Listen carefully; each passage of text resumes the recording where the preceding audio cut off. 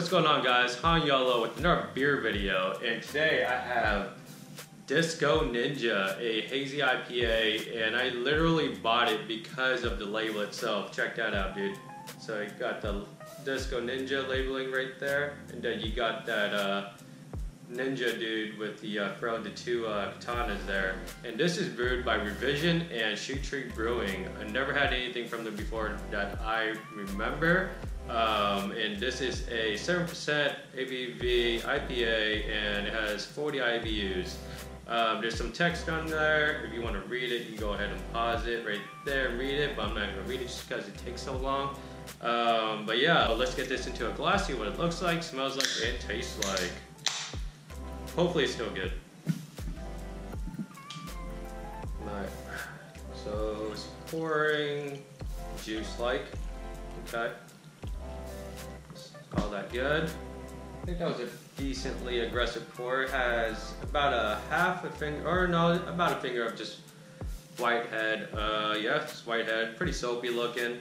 Uh, the color is actually really light. Like it's super light. Like it's almost not. I like. I almost wouldn't call that hazy, but it is hazy. It's it's like a hazy slash cloudy beer. Like it is like a. Let me not put it so close to light. Yeah, it's like a very light orangey color. Um, kind of like an orange that's not quite ripe yet, so it still has that like yellow tint to it. That's pretty much what it looks like. Uh, let's stick our nose into this. Oh man, okay, citrus for days. A lot of orange peels, pineapples, a little peach in there too. Actually, it's a little dank smelling. But definitely get that peach there on the last. Oh yeah, there's definitely some peach in there. Dude, it smells pretty damn good. Uh, let's give this a taste. Cheers. Mm -hmm. Dude, yeah, it is pretty good, man. It honestly reminds me a lot of Trillium. Um, yeah, definitely. Even on that finish, it's like very Trillium-esque.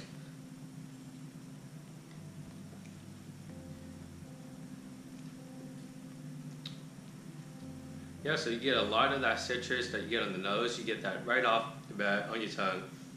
And then it kind of mellows down to like this pineapple slash rock fruit medley. Um, and that fades into like this malty, biscuity, crackery sweetness that's not super sweet, but it's like that one that maltiness that you kind of get towards the end of a Trillium IPA. Like literally almost every Trillium IPA I've had has had that sweetness and towards the end. Um, it's freaking good, man. It's like very pillowy and very soft on your palate. Um, carbonation's about medium, I would say. But it's like very fluffy, you know what I mean? Like it's hard to explain, but it's like fluffy.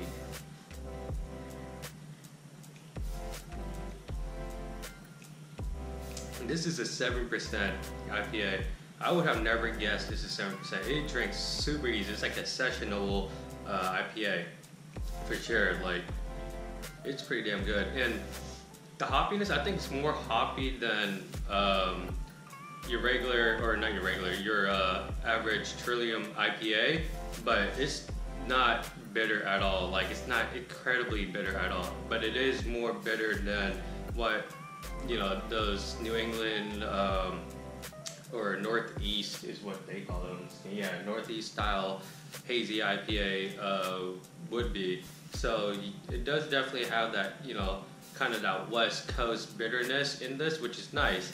Um, and then it has that uh, pillowy, fluffy uh, mouthfeel of the New England style uh, IPAs, which is incredible. Like just adding, just combining the two, the bitterness that's not overwhelming, that actually adds to the beer, and then the pillowy, the fruit medley kind of beer, like just combining the two. It's awesome, man. It's really good. I highly recommend uh, getting a can or getting multiple cans if you can. I don't know if they're still out there because this can is from October.